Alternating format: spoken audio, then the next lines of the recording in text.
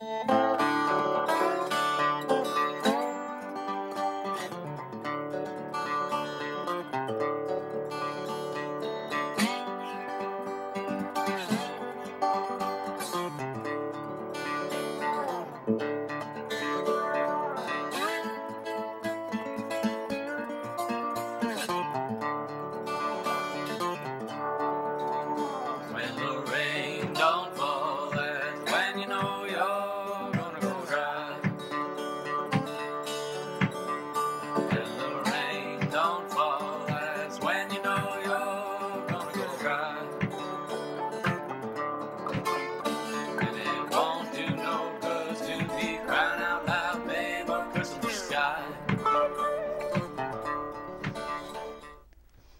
Welcome to Thinking Green. I'm Rana, and I'm here again live. So, if people want to call in with questions, you are certainly welcome to. Um, my guest today is Justin Paglino, uh, who is running for Congress in the New Haven area in the third uh, congressional district. He ran in 2020 and is running again on the Green Party line. So, um, welcome, Justin. Thank you, Rana. Uh, thanks for joining us tonight. Uh, I guess I want to start out by, you know, asking you to talk a little bit about your background and why two years ago you decided that running for this kind of office was the right thing to do. Uh, well, my background is in medicine and medical science. So I went to Brown University uh, and then Brown University School of Medicine.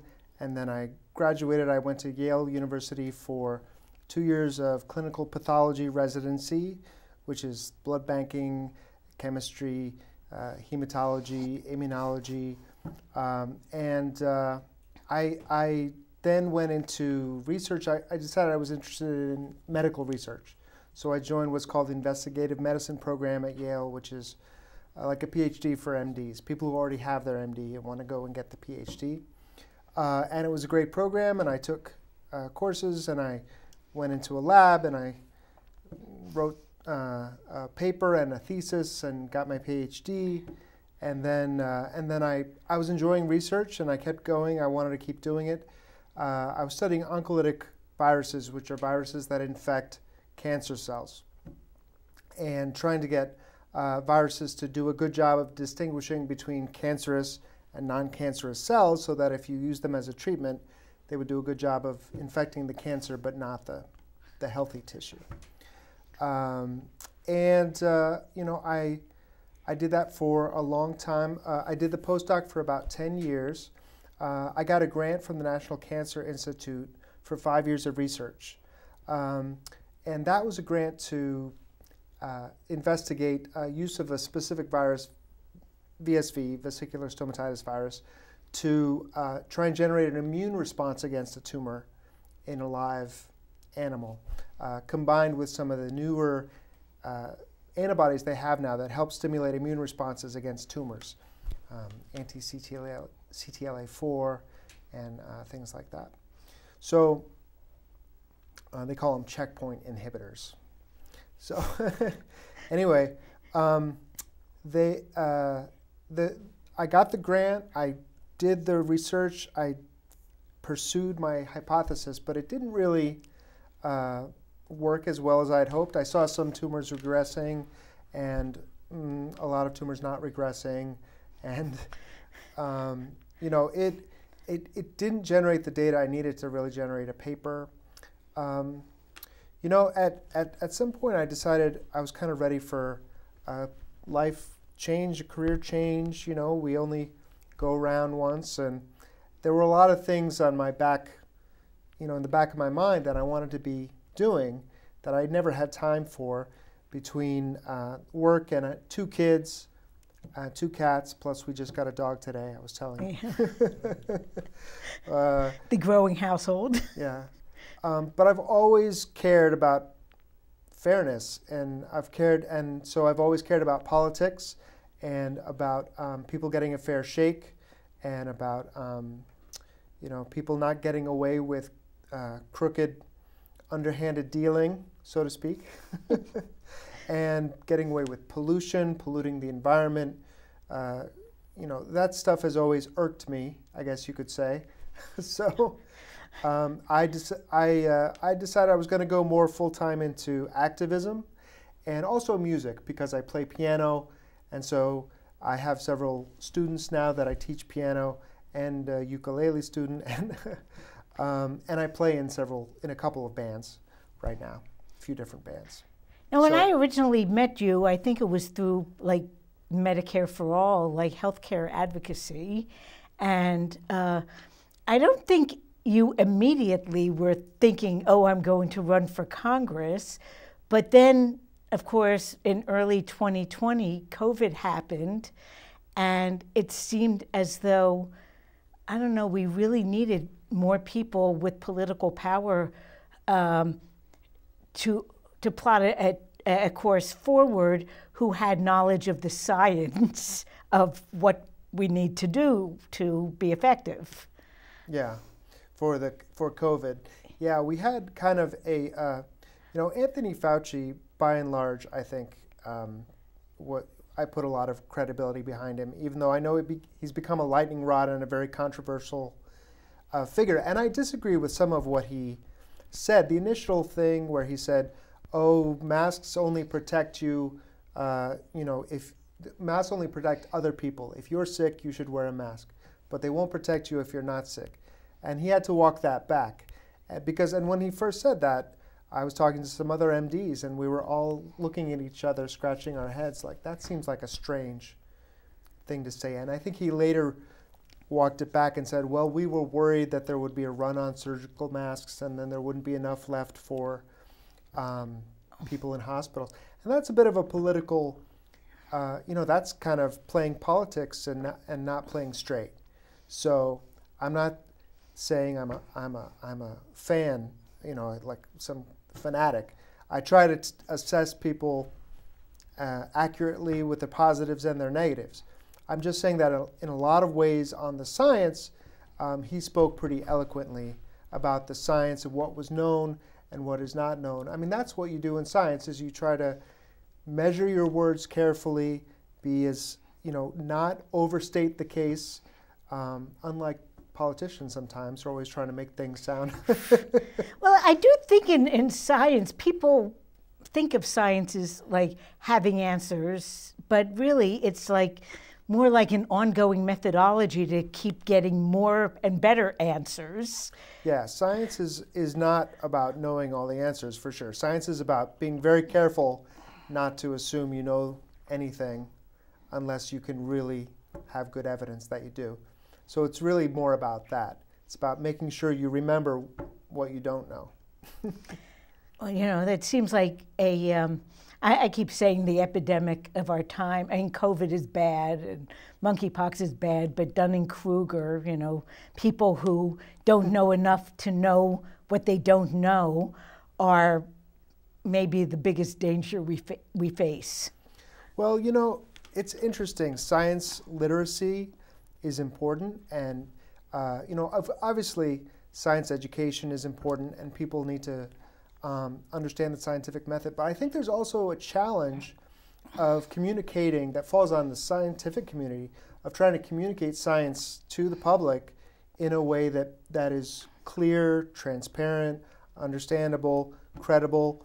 Um, Yeah, probably not lost in lingo, which I think might happen.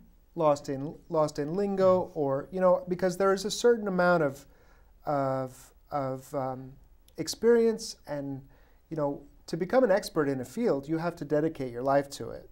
And so the common person is not going to be able to under, understand everything that an expert understands not just in science but in everything. You know if my car mechanic tried to teach me car mechanics in a day you know i would be lost right um, so that we had a lot of people trying to understand all the details, and I think at some point you do, you have to understand that you can't learn virology in a weekend, you know, and there are such things as experts, and but it is, it is fair to want to uh, understand what are the credentials of this person, how reliable are they, can I trust them, um, and at some point you do have to trust, you have to do have to find people you can trust and that's kind of a drama we saw playing out throughout the pandemic. You know, Fauci was one of the lightning rods. You know, do we trust him? Do we not trust him?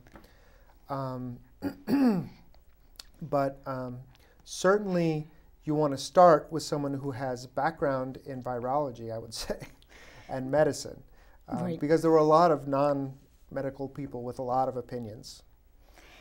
And, you know, I, I think it really, and we'll talk more about the healthcare system in general, but I think one of the problems that we have in our healthcare system is that people don't trust it because it's be, healthcare's kind of become a commodity. It isn't really about healthcare. You know, the hospitals, even if they're technically nonprofit hospitals, when they consolidate, the CEOs are making big bucks, mm-hmm. and you know they they are they're kind of selling a product, and uh, uh, and people, of course, are often fighting with their insurance companies or having trouble getting the medications they need because there are so many gatekeepers and people kind of lining their pockets along the way, and so I think we got set up when this pandemic started of a lot of people who were not inclined to trust the medical profession and they didn't really know whom to trust. Yeah, I think I think there is a problem that we don't have we don't have um, you know th- there's a lot of suspicion about government in general um, or there's a s- lot of suspicion about government and of private for-profit corporations being corrupt right and and having their own interests that they're holding first and foremost whether it's the government or whether it's the hospital you're going to, or so, even the doctor you're going to, people worry, you know, that they're, they're the doctor's trying to make money and, uh, and, and, and they're biased by money. And money can bias people. So how do you set up, how do you set up a government that, uh, that, that people trust? I mean, I've been, starting with government, I've been a, uh, in favor of public campaign finance reform for, you know, decades, forever. It always was clear to me that, uh, you know, the, the obvious influence of money throughout our politics uh, isn't just bad for um, our political outcomes, but it's bad for our people's faith in democracy, because they look at they look at what's um, wins elections and they see that it's money. You know, my opponent is can easily raise a million dollars.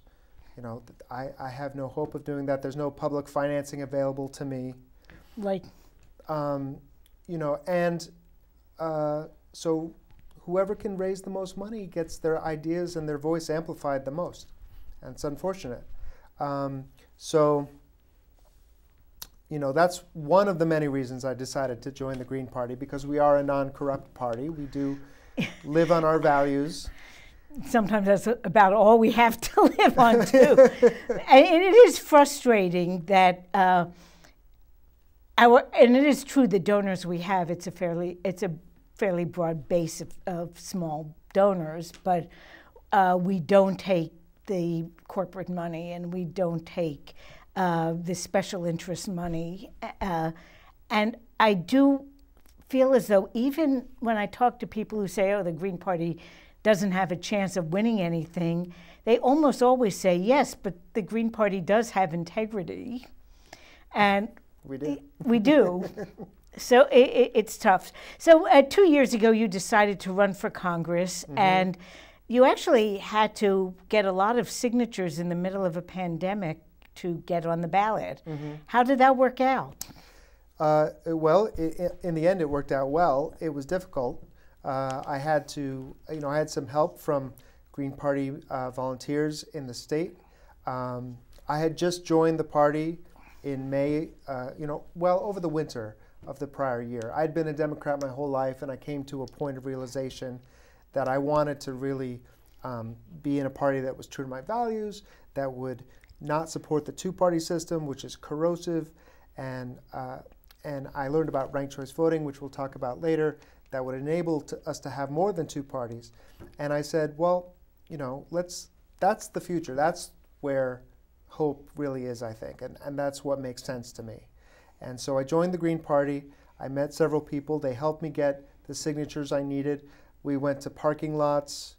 Uh, you know, we, you know, we stood in on, on street corners. We went to some events, but there weren't many events. You know, there were Black Lives Matter events happening that summer, and um, those were good. Um, I've also done some petitioning this year. It's been easier. Um, more people are out. More people are comfortable. Um, and what's always encouraging is when you see there are a lot of people you find that are enthusiastic about Yeah. wanting to see the Green Party on the ballot. Um, and a lot of them will vote for them, and some of them just say, "Well, it's just, it's just dem- democracy to have more than two parties on the ballot." And you know, whether I vote for you or not, it doesn't matter. I want to see that competition, and that's the kind of, uh, that's the kind of thing that people are hungry for is more of a competition of ideas and not just uh, pick, pick one I- ballot. I, I've been looking sort of not real scientifically at voter turnout in New London. Um, over the last 20 years, New London has become pretty much a Democratic monopoly town. The last couple elections, all of the elected positions, 15 elected positions, have all been taken by Democrats. And as that has happened, the voter turnout has dropped because there just isn't as much dialogue. It's almost like you vote for your sports team mm-hmm. and there you don't get an understanding of issues. There aren't many opportunities for people to communicate with their elected officials exactly what's important to them.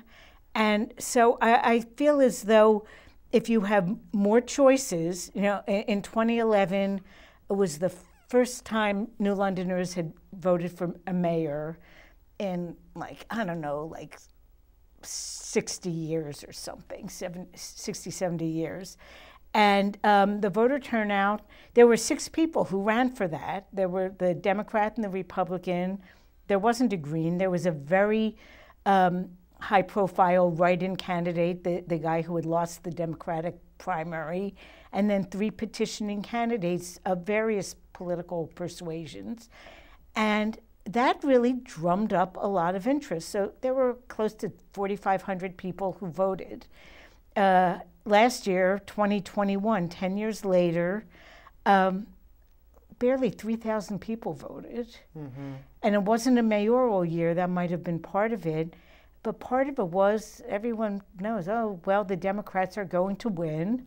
Mm-hmm. And it's just, you know, my vote isn't going to mean much. Mm-hmm. And, you know, there's a, been a lot less discussion of issues, which, you know, fewer forums, fewer mm-hmm. debates, fewer dialogues, even on the street corners. Yeah. So, yeah. I mean, I mean, I'll just throw this in there, but there's a lot of talk. You hear a lot of people saying, "Where did Donald Trump come from? Like, how did we get here? What brought us to this point?"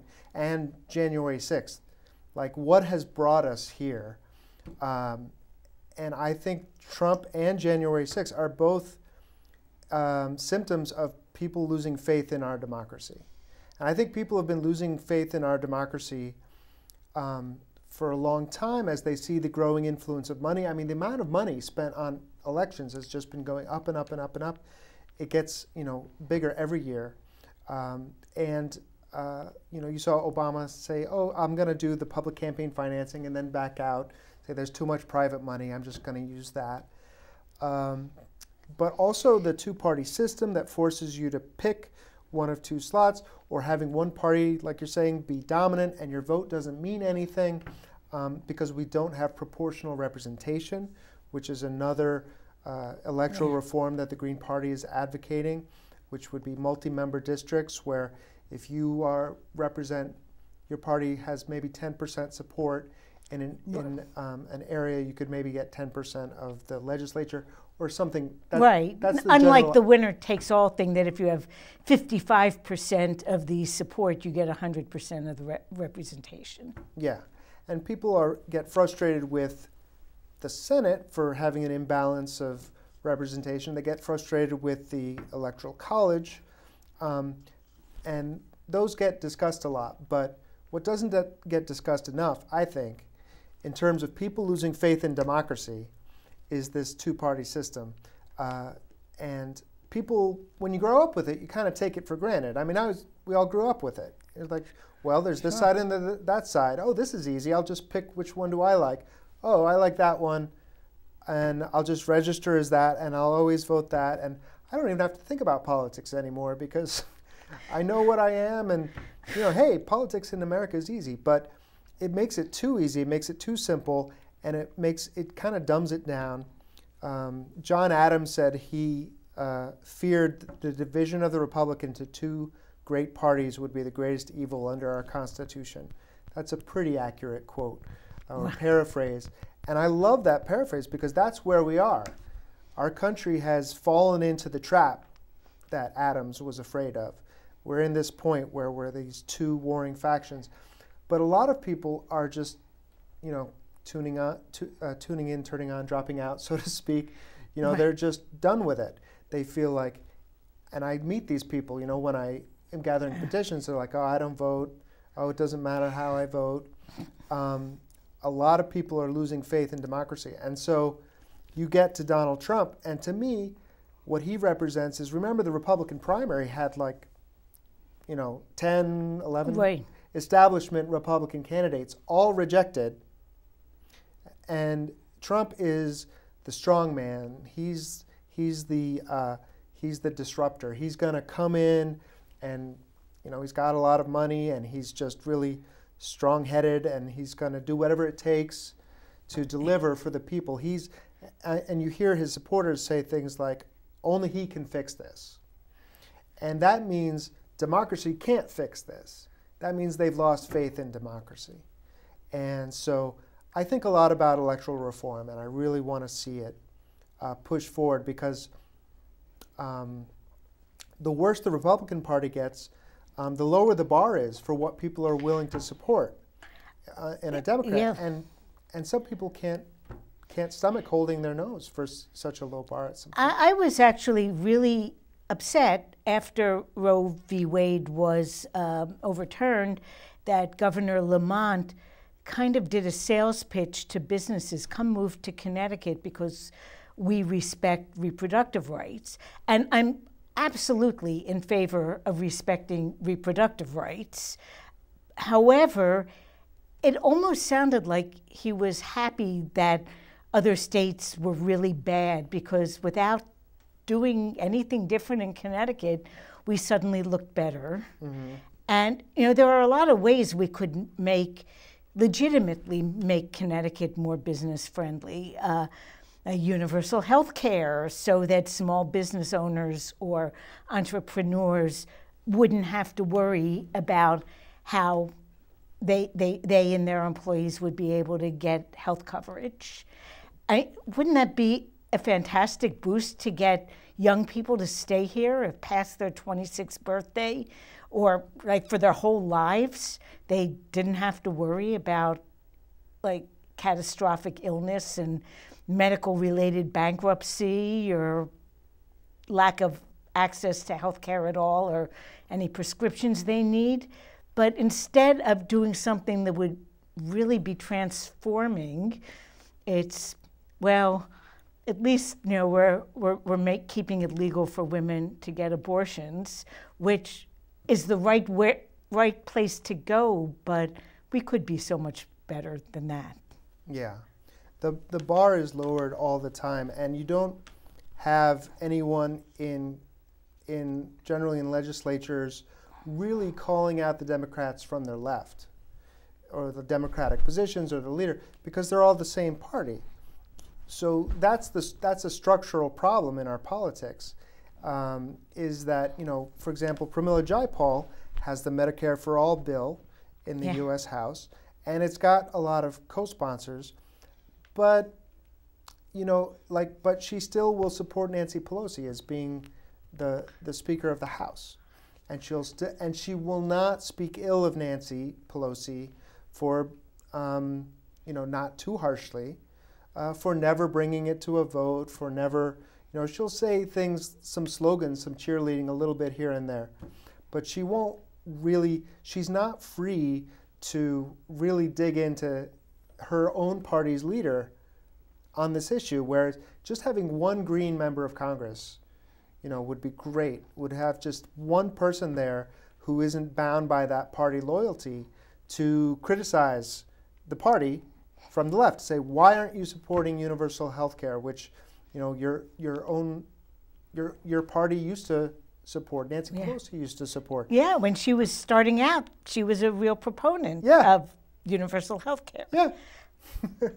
So was Joe Courtney, by the way. I, I, I remember the first time he ran, and uh, I think his wife might be a nurse, and he made a grand statement at one of the debates that he would not accept the insurance that members of Congress get until um, co- the country passed like universal health care. Joe Courtney, Joe Courtney. Uh, he, he'd stay on his wife's insurance. because he's not a co-sponsor. But after um, the Affordable Care Act, that was good enough for him. Even. Yeah. though Obama even buckled on the public option piece of it, yes, he did. um, it became that passed, and Joe Courtney said, "Good enough." And now he says, "Oh, everyone really wants universal health care, but it's impossible."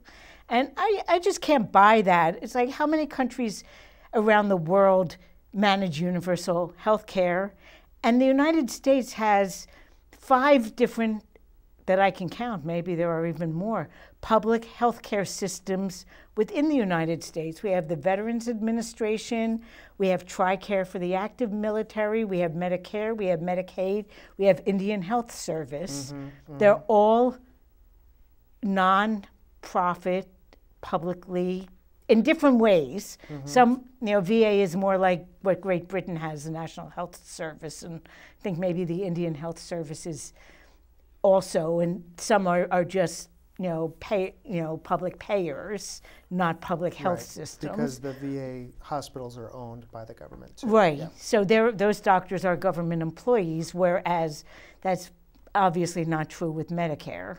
Yeah. Uh, so, but we have so many models we could actually choose from here that for people to say it's impossible, I, I just, I just don't buy it. Yeah, no, of course, no, it's not impossible. Of course, it's possible. There's lots of countries that have universal health care. All of our peers, you know, all of the advanced nations have some form of either um, a mix of public and private to fill in the gaps, which we don't have. You know, we people, you may imagine that Medicaid is filling in all the gaps, or, but it's not. There are um, there are millions of people uninsured, and there are millions more who are underinsured, who don't have uh, enough insurance to cover their um, their expenses or can't afford to cover their expenses.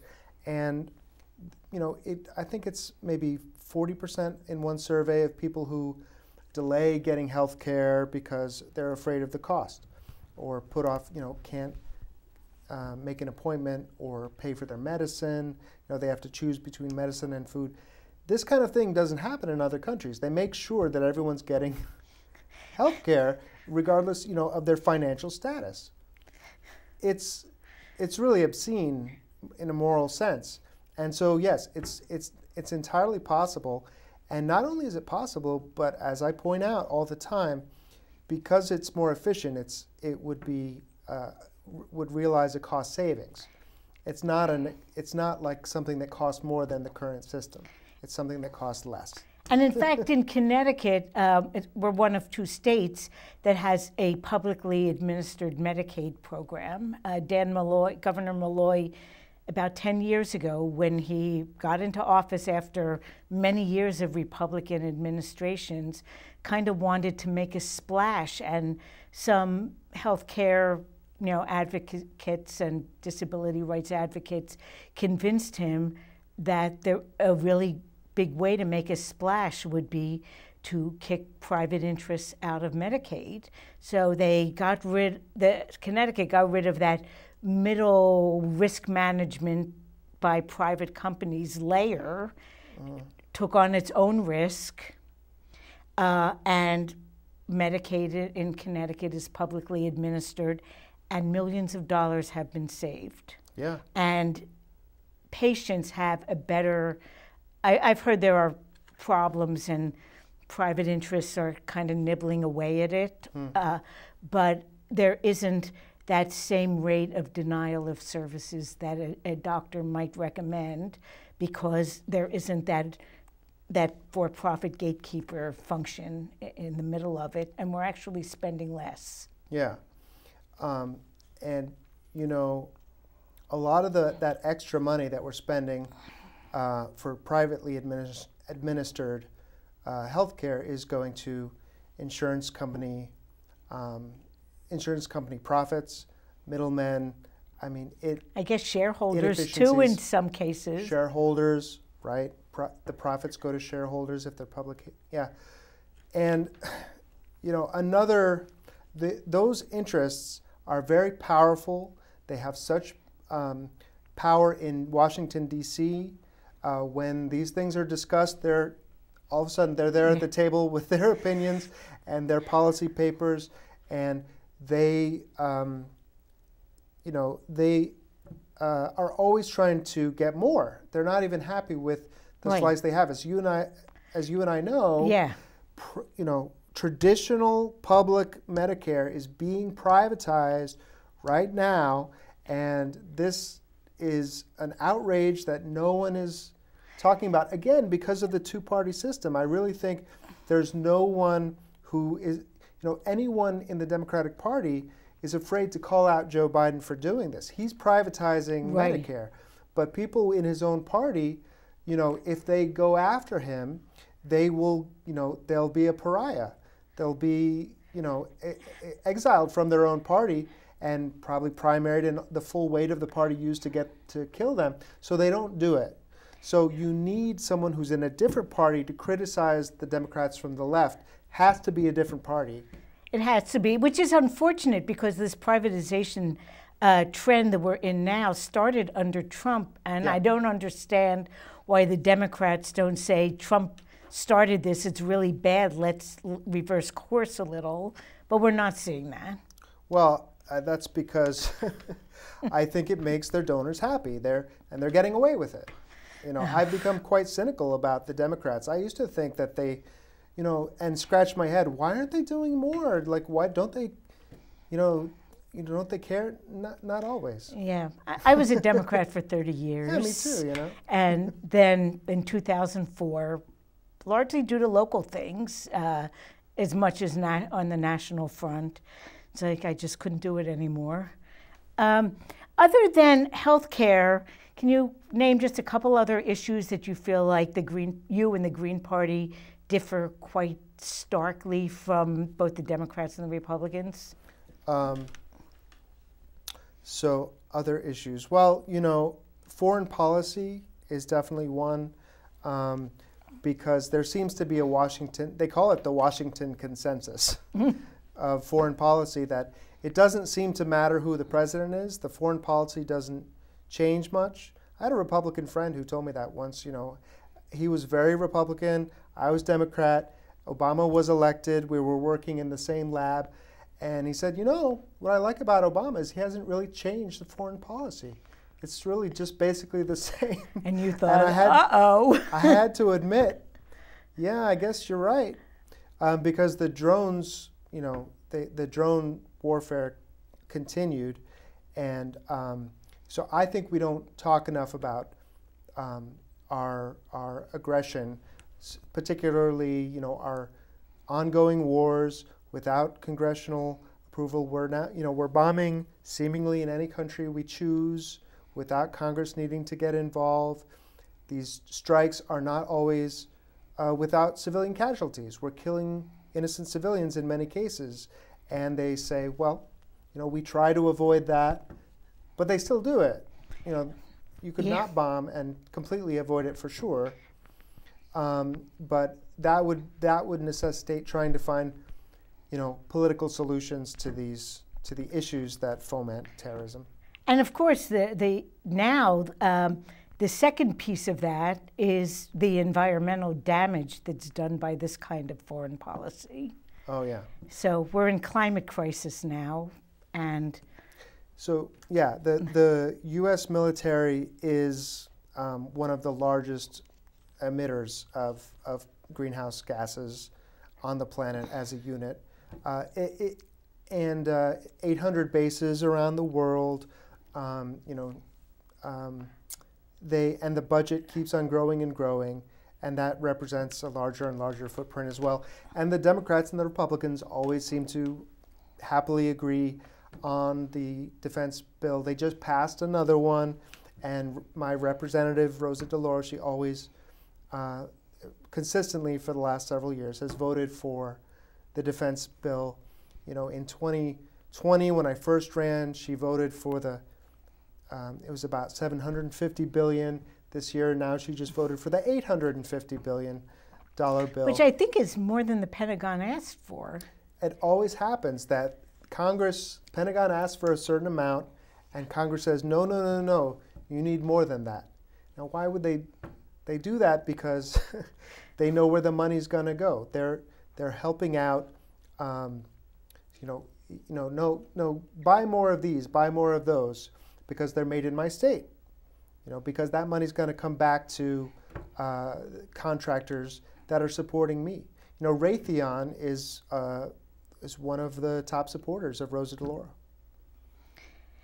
Well, Connecticut is a terrible state for that. I, I, you're looking at my own district, Joe Courtney's district, um, you know, his idea of economic development seems to be, you know, keep building submarines, and Yeah.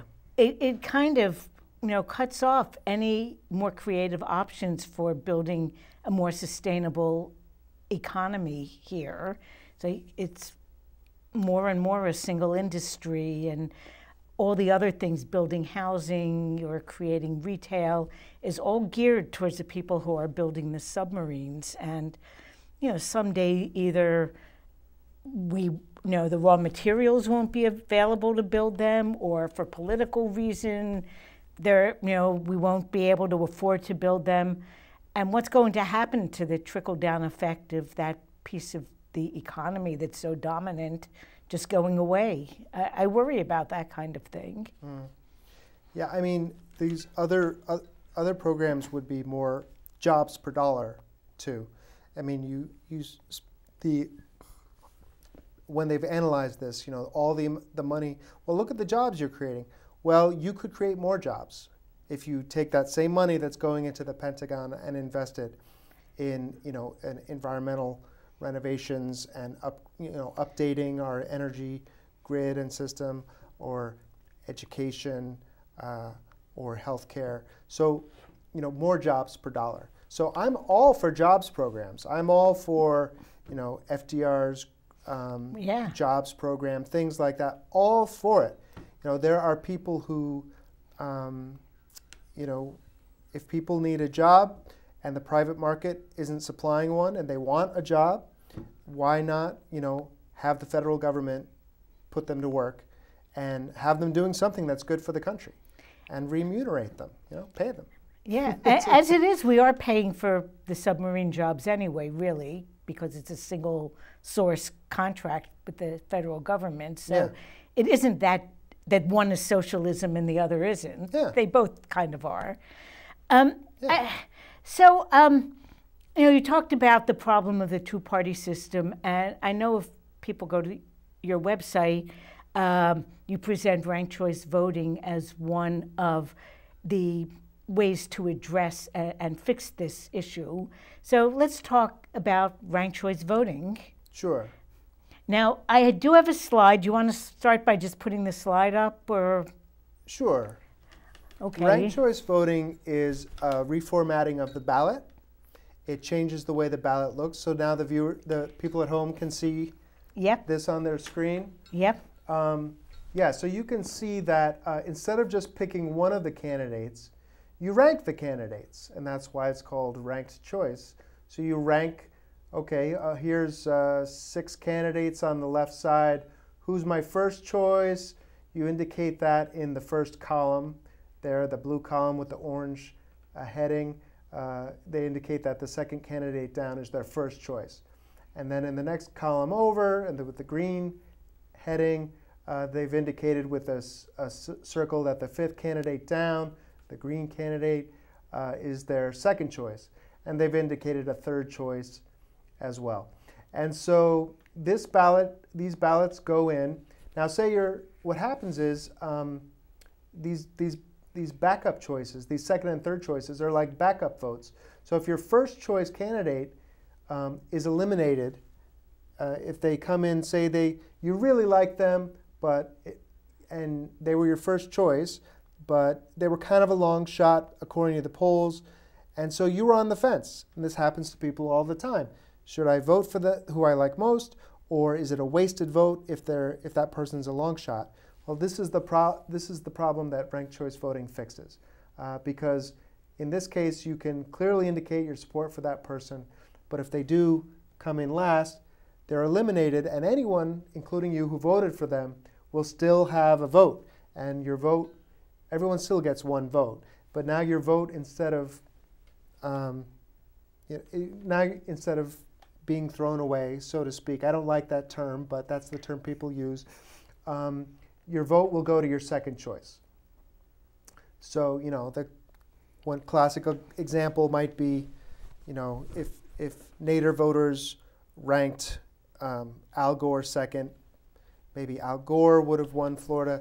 But you know, there's also the the phenomenon of uh, like they when they polled Jill Stein voters, two thirds of them said, if if if there had not been Jill Stein on the ballot, I would not have voted. I would have stayed home. I think that was true with Nader as well. Yeah. I would like to see how that ranking would have worked with Ross Perot in 1992, because although there was a fairly large gap between Clinton and Bush, I think it was like 44% or 43% and, and 37%, Ross Perot had more than 15% of the vote.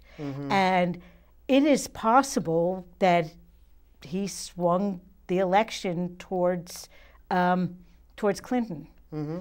And you don't hear that example that much, but it's much more likely than um, th- than the Nader one because, like Jill Stein voters, Yeah. I think they've interviewed Nader voters, and not three quarters, but maybe thirty percent would not have Yeah. come to the polls at all. But ranked choice voting frees us from having to have any of these discussions. right. right. We don't even, yeah.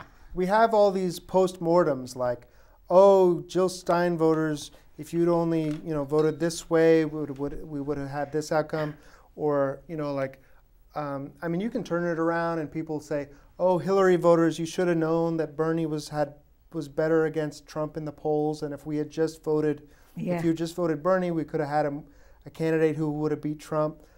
And but you know, it's all these recrimina- recriminations.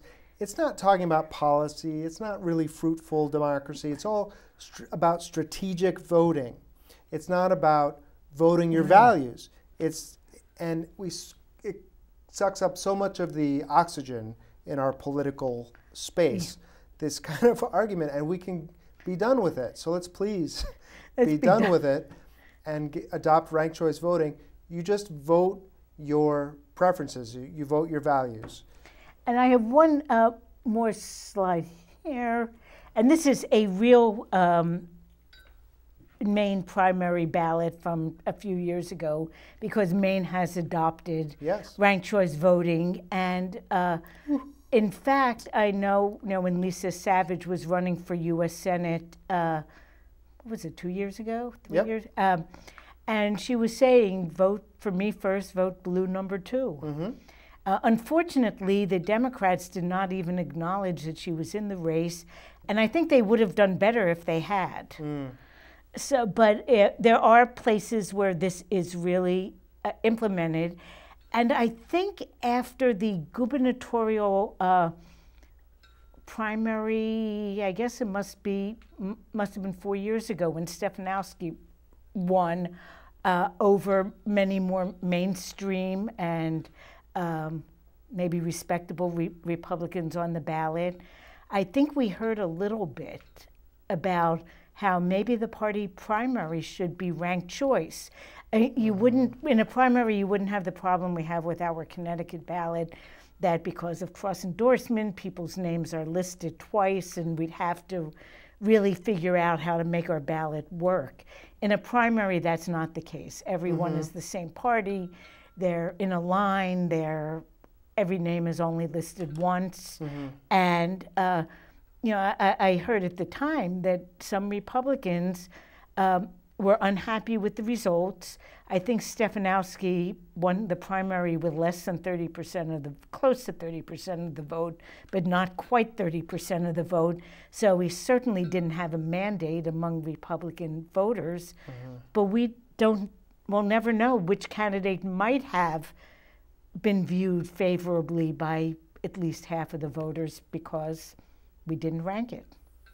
Yeah, I um, for anyone who doesn't know, you know, yeah, this is not just a, a proposal that the Green Party is trying to make a reality uh, out of nowhere. You know, this is established voting method that's been used for hundred years in Ireland and for decades in Australia, and they love it. They, it's, it's established, and now we have it in Maine. Now we have it in Alaska. Now the Democrats are using it in their primary in New York in um, and you know there's several places in Utah, I believe, cities that have it because it's a better system because it's more representative because it makes democracy better because it allows for more than just two parties because it allows you to vote for your values and vote your real preferences and because it avoids the vote splitting problem and because it changes the dynamics of elections. So instead of uh, two people just trying to tear each other down. You have multiple candidates trying to um, appeal to as broad a, a, sw- a swath of voters as you can. You can't divide and conquer.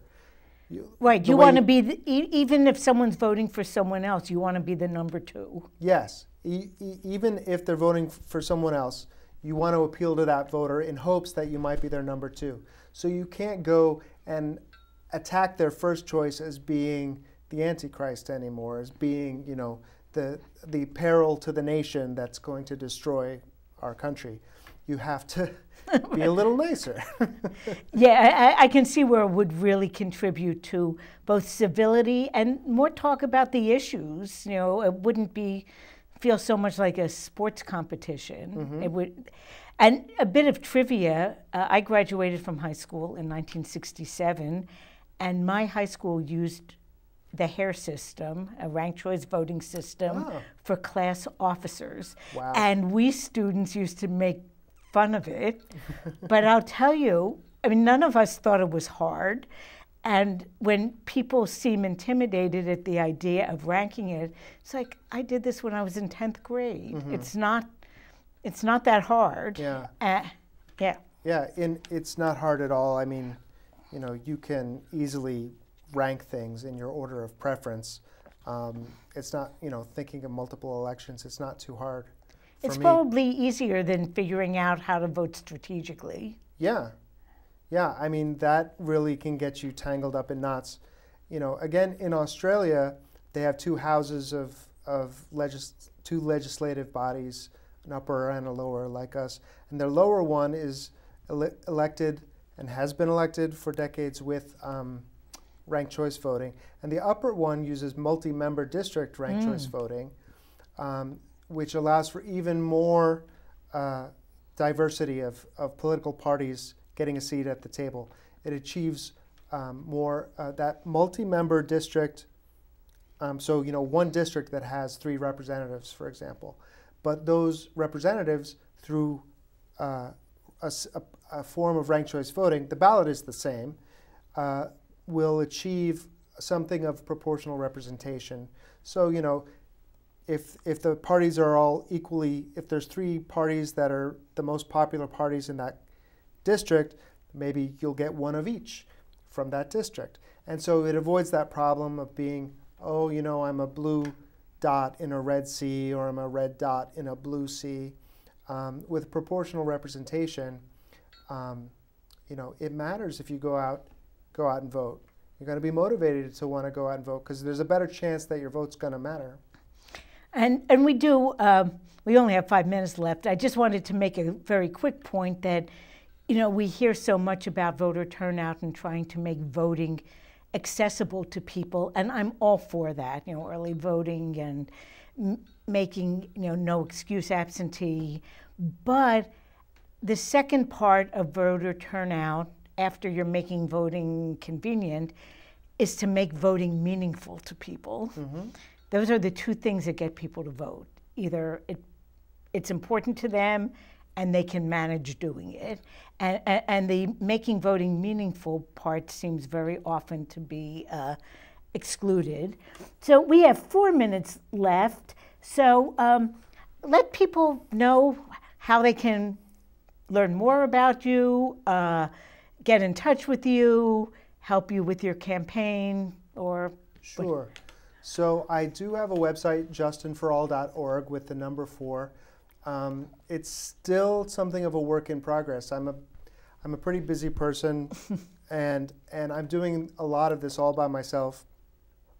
I don't have a web guru who's volunteering all their time. Everyone's busy, you know. But I have something of a website that's and where people can donate and can get some information about the issues. Can subscribe to my newsletter where I'll let people know if I'm going to be out at an event or just updating them of what's going on or if there's a new article that's out or a new interview like this interview. I'll let people know. sure, we can put it. It'll be up on YouTube by tomorrow. Yeah, and I'll let people on my newsletter know.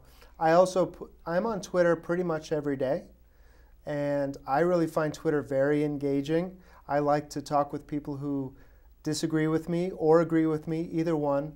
I'm not I'm not a fan of these these these uh, you know people bubbling themselves in and self-segregating. Um, I think we need to talk to each other and talk to people of different opinions and, and arrive at uh, that's the way to progress.